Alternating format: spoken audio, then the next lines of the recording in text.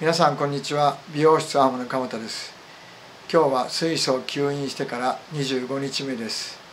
今朝気づいたことですけども今までは両手をこの外側に向けることができませんでしたけど今日は少し外側に向くようになりました。